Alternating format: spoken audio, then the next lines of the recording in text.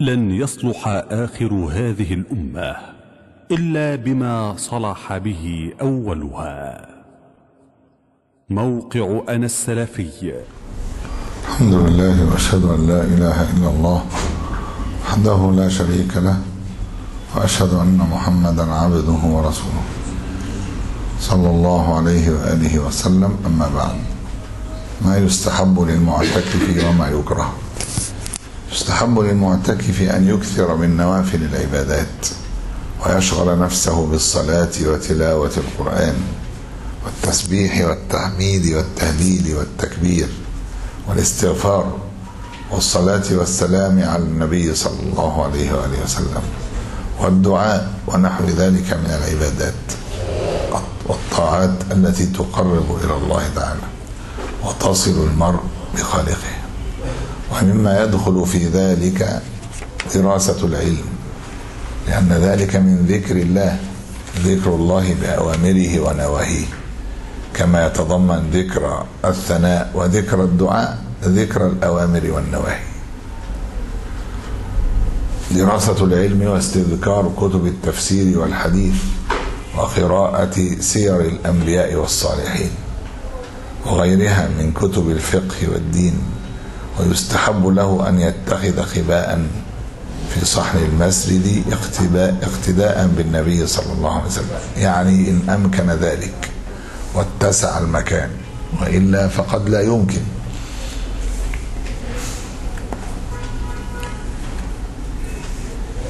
أو قد يكون هناك كثرة من المعتكفين فلو اتخذ كل منهم خباء لأدى ذلك إلى عدم كفاية المكان. فالخباء ليس واجبا فضلا عن أن يكون شرطا أو ركنا. ويكره له أن يشغل نفسه بما لا يعنيه من قول أو عمل. لما رواه الترمذي وابن ماجة عن أبي هريرة أن النبي صلى الله عليه وسلم قال من حسن إسلام المرء تركه ما لا يعنيه. حديث حسن. ويكره له الإمساك عن الكلام ظنا أن منه أن ذلك مما يقرب إلى الله. لحديث ابن عباس قال بين النبي صلى الله عليه وسلم يخطب إذا هو برجل قائم فسأل عنه فقالوا أبو إسرائيل. نذر أن يقوم ولا يقعد. ولا يستظل ولا يتكلم ويصوم.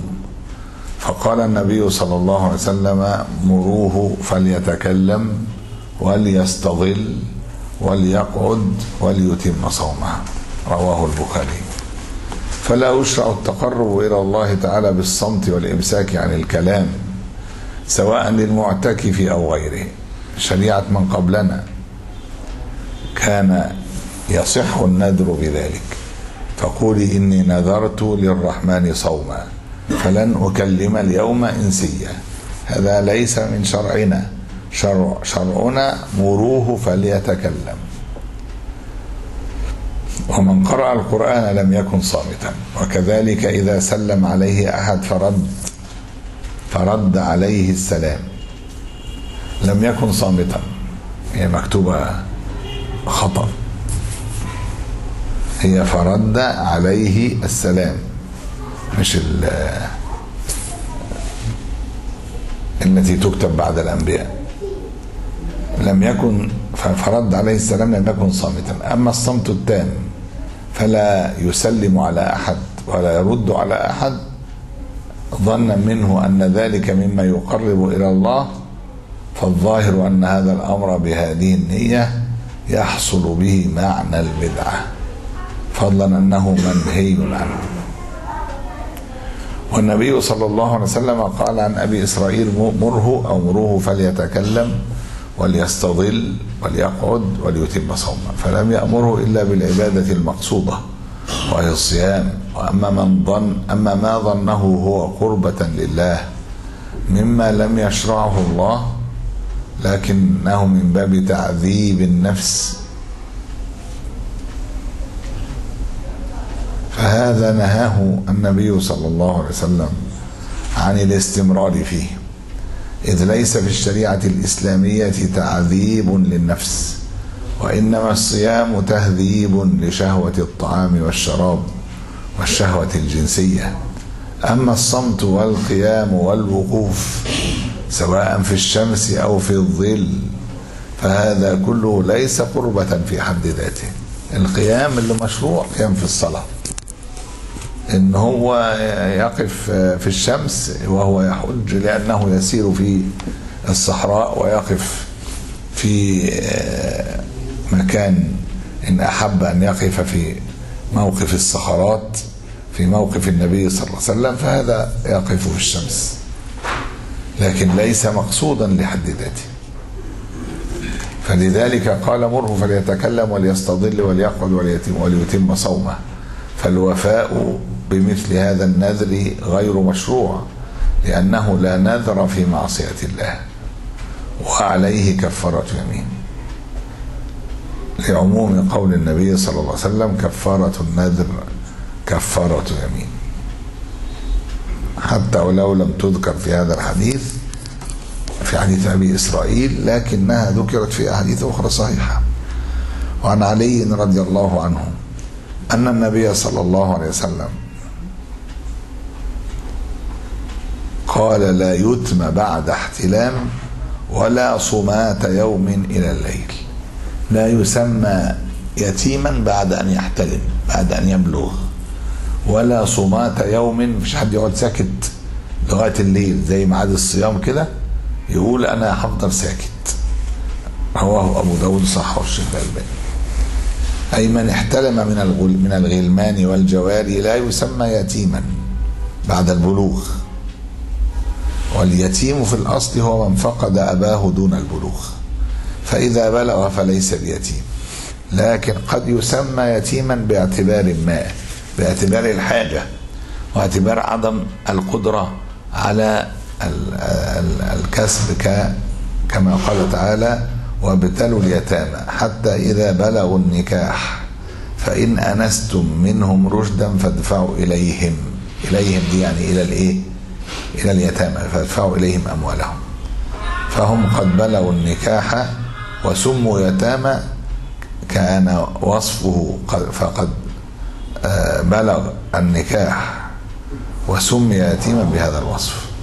هو سمي يتيما ليه في الآية لأنه لسه يعني يحتاج إلى أن يقبض ماله ويستلمه ويتكسب. وقال الله عز وجل وإن خفتم ألا تقسطوا في اليتامى فانكحوا ما طاب لكم من النساء. من من, إن خفتم ألا تعدلوا ألا تقسطوا في اليتامى من النساء التي لو تزوجتها لم تعطها مهر مثلها فانكحوا ما طاب لكم من النساء من غيرهن. فسماها يتيمة وهي إيه؟ وهي تزوج.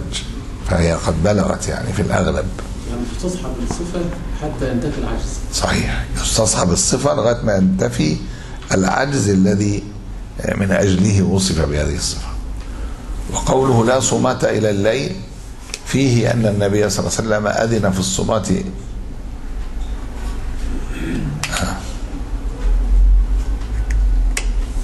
لا صمت فيه أن النبي صلى الله عليه وسلم نهى عن الصمات والسكوت إلى الليل. فإذا احتاج الإنسان إلى ذلك يعني لكي لا يكلم أهل الفساد فنعم. إذا أتم صومه كله لا يتكلم فهو الصامت إلى الليل وهذا لا يشرع. في خطأ في خلل في الكلام هنا. المكتوب مخالف لا صمت إلى الليل نهاه أن يصمت إلى الليل. لأن هذا موضع الصيام وإنما يشرع الصمت. في من اعتزل أهل الفساد فوجد وسطهم ولا يستطيع مفارقتهم. يبقى ده اللي يسكت وما يكلمهمش. والله أعلى وأعلم.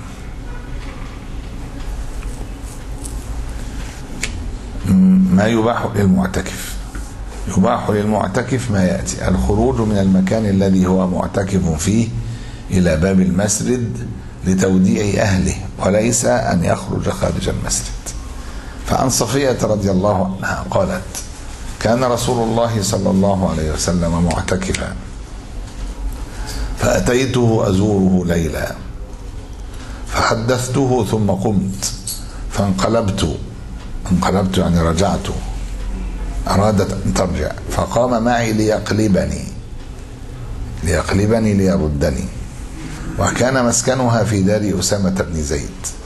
فمر رجلان من الأنصار. فلما رأي النبي صلى الله عليه وسلم أسرع.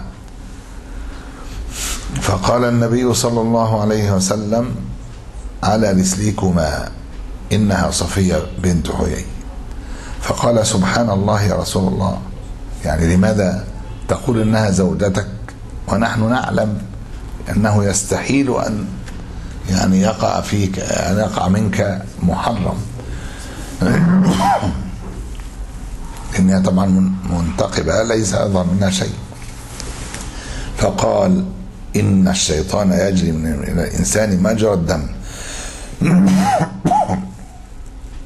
وإني خشيت أن يقذف في قلوبكما سوءا أو قال شرا اتفق على صحته. ولا يصح ما ذكره بعض العلماء من أن الاعتكاف لا يفسد بخروج المعتكف من المسجد لتوديع أهله وتوصيل زوجته إلى منزلها فإن الحديث ليس فيه أن النبي صلى الله عليه وسلم خرج بالفعل من المسجد فيحتمل أنه صلى الله عليه وسلم مقام مع صفية ليقلبها أي إلى باب المسجد.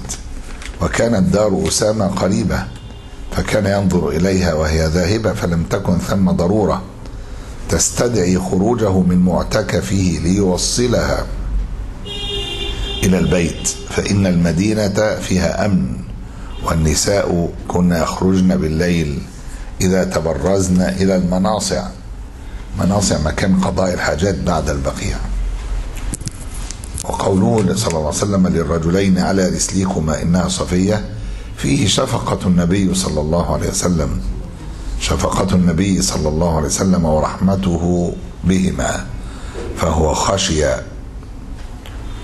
أن يظن به سوءا أو شرا فيكون في هذا هلاكهما بسببه بسبب هذا الشر فأشفق عليهما فقال ذلك وفي نقطة ثانية إن هي الرواية اللي في الصحيح كده. يباح للمعتكف ترجيل شعره وحلق رأسه وتقليم أظفاره وتنظيف البدن من الشعث والدرن ولبس أحس- أحسن الثياب والتطيب بالطيب. قلت قالت عائشة رضي الله عنها كان رسول الله صلى الله عليه وسلم يكون معتكفا في المسجد فيناولني رأسه من خلل الحجرة. زي في شباك كده مثلا أو من خلال الباب يناولها رأسه يعني يدخل رأسه جوه الإيه؟ جوه الحجرة فأغسل رأسه. هذا دليل على تكلف النبي صلى الله عليه وسلم أن لا يخرج من المسجد. هو يحتاج لغسل رأسه. يطلع رأسه في منزل في منزله منزل بيت حجرة عائشة ولا يخرج بكامله. يبقى الناس اللي إيه؟ اللي بتبقى معتكفة وعايزة تاخد دش كل شوية. خدوا بالكم دورات المياه خارج المسجد. في أي مكان في أي مسجد. لأنه لا يجوز قضاء الحاجة فين؟ في المسجد. يبقى الجزء بتاع الحمامات ده خارج المسجد. يقول لك طب والنظافه فيها إيه؟ طب ما الرسول صلى الله عليه وسلم يريد أن يتنظف عمل إيه؟ أخرج رأسه فقط ليبقى جسمه غالبه داخل الايه المسجد. ننتبه لذلك. شر... لذلك نقول شرط هذا أن يكون في المسجد. وكونه صلى الله عليه وسلم يتكلف أن يدخل رأسه من الشباك أو نحوه في الحجرة وجسمه في المعتكف دليل على أن المعتكف لا يخرج من معتكفه لمجرد التنظف وإنما يخرج للطهارة الواجبة. يعني المكان بتاع الطهارة الواجبة واللي يمكن يتوضأ فيها أو يغتسل فيها خارج المسجد لا بأس أن يخرج. أو يخرج يجدد وضوءه لا ما ينفعش. لأن ذلك ليس واجبا عليه فلا يجوز أن ينقض الاعتكاف لأجله. وهذا الحديث يدل على أنه لو خرج رأسه أو بعض جسده لم يضر ذلك اعتكافه. كالمناولة. كأن يخرج شخص من داخل المسجد يده ليناول من من من بخرج المسجد شيئا فلا يضره. هذا يشتري حاجة يجيب البياع على باب المسجد وبعدين يديله الإيه؟ الفلوس بره ويقبض السلعة بره وبعدين يدخلها. الخروج للحاجة التي لا بد منها. قالت عائشة كان النبي صلى الله عليه وسلم إذا اعتكف يدني إلي رأسه رأسه. فأرجله تسرحه تغسله رواية وتسرحه رواية. وكان لا يدخل البيت إلا لحاجة الإنسان. قضاء الحاجة يعني قضاء الحاجة. وعنها رضي الله عنها قالت والسنة في المعتكف أن لا يخرج إلا للحاجة التي لا بد منها ولا يعود مريضا ولا يمس امرأة ولا يباشرها. ولا اعتكاف إلا في مسجد جماعة. صحيح ظاهره أن له حكم الرفع. إذا فمن السنة أن لا يخرج المعتكف إلا للحاجة التي لا بد منها فلا يخرج لعيادة المريض.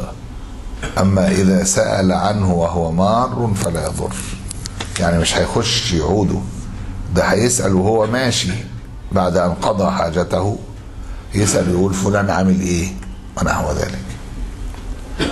الخروج للغسل من الجنابة هو من هذا الواجب. مما لا بد منه. تطهير البدن والثوب من النجاسة. لو حصل وجدت نجاسة في الثوب. يخرج ينظفها لأنه ما ينفعش ينظف في المسجد. لأن هذه الأمور من الواجبات. ومن شروط صحة الصلاة مع العلم بوجود النجاسة والقدرة على- على إزالتها. يجوز للمعتكف أن يخرج لشراء ما يحتاجه من طعام وشراب. كما في المسجد الحرام لا يسمح بدخول الطعام. ويحتاج كثير من الناس إلى أن يخرجوا فيأكلوا في الخارج. فيمكن أن يخرج ليأكل ثم يعود. وإذا لم يرد أن يأكل من طعام يصنعه الناس مع بعضهم في المسجد يعني إحنا دلوقتي الناس بتعمل أكل مع إيه؟ بيتعمل لهم أكل جماعي. فهو لا مش عايز الأكل ده. يجوز أن يذهب إلى بيته ويأكل ثم يرجع. جاز أن يقرأ يخرج إلى أقرب موضع أو إلى بيته ليأكل ثم يعود.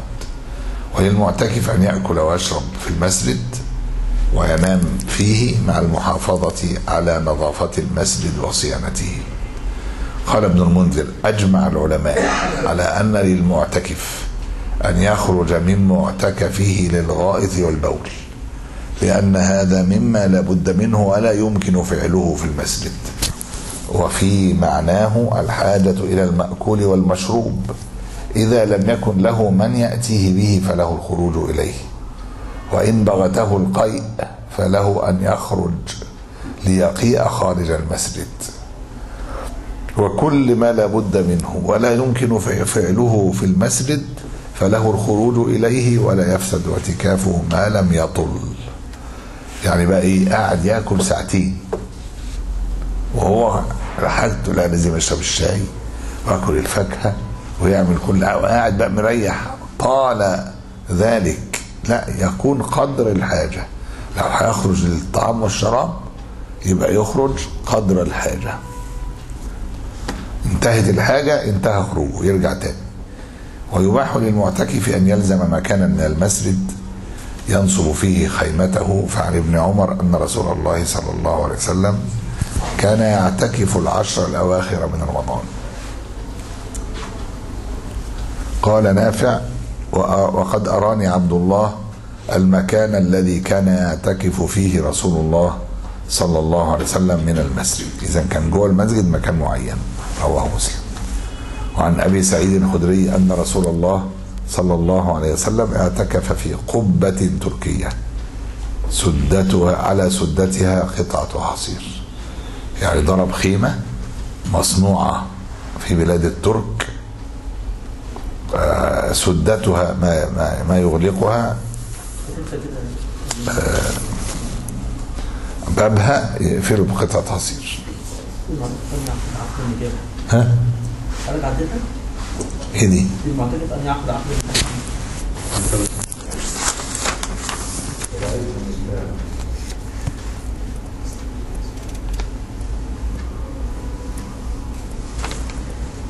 ما أعرفش حضرتك قلت فين دي؟ في صفحة 147 المعتقد ان يعقد عقد النكاح في المسجد آه نعم تمام.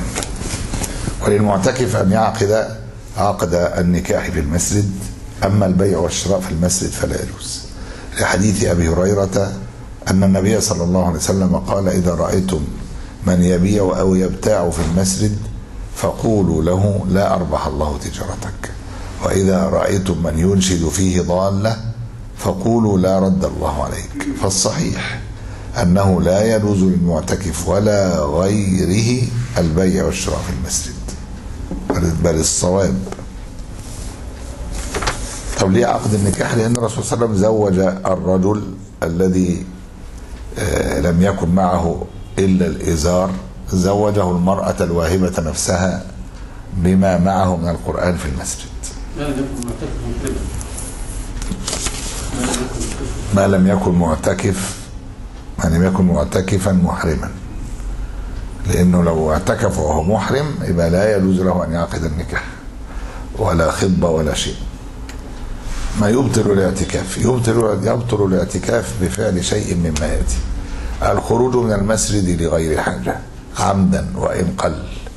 فإنه يفوت المكث في المسجد وهو ركن من أركان أو الركن الأساسي فيه. الردة لأنه سب الدين فارتد مثلا آه، خرج من الملة فقد بطلت كل أعماله لأن أشركت لأحبطن عملك ذهاب العقل بجنون أو سكر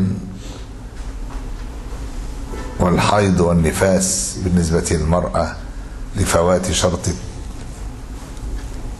شرط التمييز في العقل وشرط الطهارة من الحيض والنفاس في المرأة.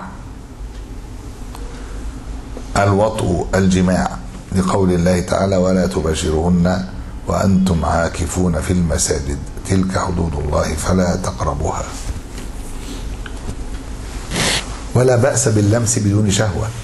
فقد كانت عائشة ترجل رأس النبي صلى الله عليه وسلم وهو معتكف. وهذا لمس بدون شهوة. أما المباشرة والمس بشهوة فقد قال أبو حنيفة وأحمد رحمه الله قد أساء لأنه قد أتى بما يحرم عليه في الاعتكاف ولا يفسد اعتكافه إلا أن ينزل. وقال مالك يفسد اعتكافه. لأنها مباشرة محرمة.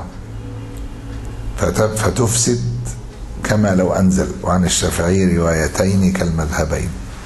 والراجح أنه قد أساء ولكن لا يفسد اعتكافه إلا بالجماع.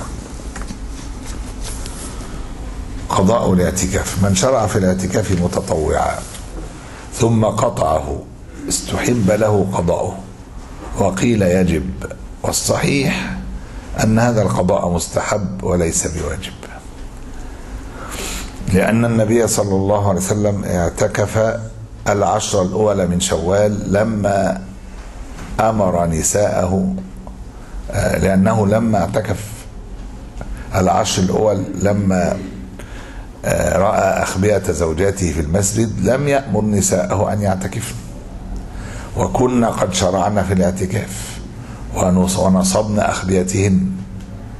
إذا القضاء الاعتكاف اللي قطعه ليس بواجب. إلا أن يكون أوجبه على نفسه بنذر أو غيره. وفيه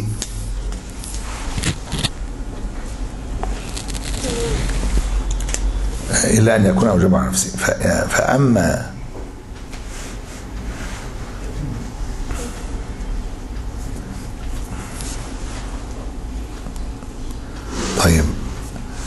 آه، إن كان أوجبه على نفسه فالقضاء واجب. يعني نفترض إن واحد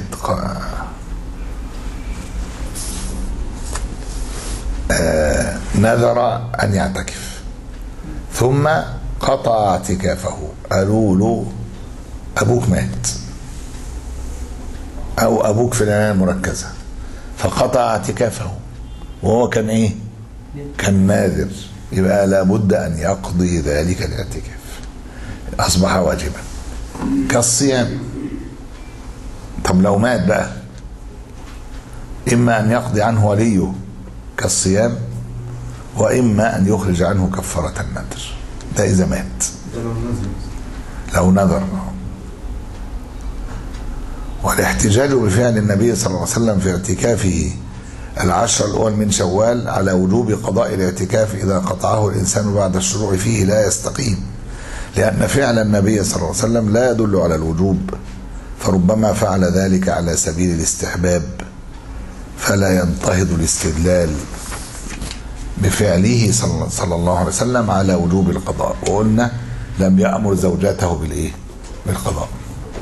نذر الاعتكاف في مسجد معين. من نذر الاعتكاف في المسجد الحرام أو المسجد النبوي أو المسجد الأقصى وجب عليه الوفاء بنذره. في المسجد الذي عينه لقول رسول الله صلى الله عليه وسلم لا تشد الرحال إلا إلى ثلاثة مساجد. مسجد هذا ومسجد الحرام ومسجد الأقصى. ويجزئ إن إن نظر الاعتكاف في الأقصى يجزيه أن يعتكف في المسجد الحرام والمسجد النبوي لأنهما أفضل. وإذا نظر الاعتكاف في المسجد النبوي أجزأه أن يعتكف في المسجد الحرام لأنه أفضل. وأما إذا اعتكف في المسجد الحرام فلا يجوز أن يعتكف في غيره. أما إذا نظر الاعتكاف في غير هذه المساجد فلا يجب عليه الاعتكاف في المسجد الذي عينه. واحد قال أنا نذر علي أن أعتكف في مسجد التقوى أو نور الإسلام مثلا. لا يجب عليه الوفاء بالمكان. يجب عليه أن يعتكف في أي مسجد شاء لأن الله تعالى لم يجعله لعبادتي لم يجعل لعبادته مكانا معينا وأنه لا فضل لمسجد من المساجد على مسجد آخر إلا المساجد الثلاثة. طبعا لكن ممكن يكون من جهة أن هذا المسجد العتيق يكون أفضل أو أن هذا المسجد أكثر جماعة أو ذهب إليه لدرس علم فهذا المحتمل.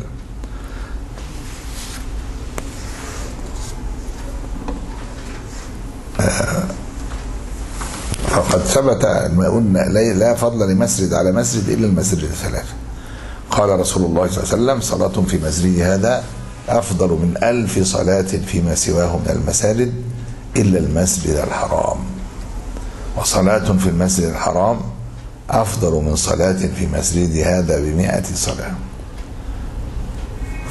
وإن نظر الاعتكاف في المسجد النبوي شرحناها هذه كل ما كان أفضل يجوز فيه. قولي هذا وأستغفر الله لي ولكم. قل هذه سبيلي أدعو إلى الله.